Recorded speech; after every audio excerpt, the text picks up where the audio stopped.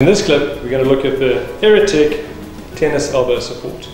The tennis elbow support is an adjustable brace that contains a counterforce area, a little extra padding here that can be used to apply counterforce pressure just below the common extensor origin in the elbow, which is an area injured, for example, in tennis elbow. The main idea is that it applies a little extra pressure here, which takes pressure off the injured area and allows it to recover.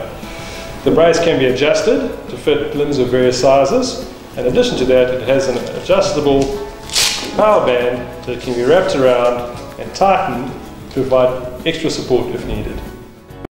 The first step would be to undo the power band. Next, undo the Velcro attachment. Inside the brace you can see it has a counterforce pad that is necessary to apply the pressure on the, on the extensor tendon. The patient get them to feel for the bony bit on the outside of the elbow Bring the next finger down, lift your finger up and down, you can feel the tendon moving underneath you. There's the point that you want to attach the counterforce pad. Get the counterforce pad on that spot, okay, and attach, fasten the brace. Once again, test to make sure that there's flexibility, enough support provide flexible compression without compromising blood supply. The next step would be to attach the power strap